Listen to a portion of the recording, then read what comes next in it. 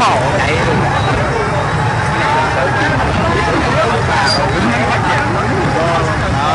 lúc cùng cuối cùng không bắt được không từ giờ nó đỡ được sau này nó điều tra liền tay liền thấy không thấy gì đâu.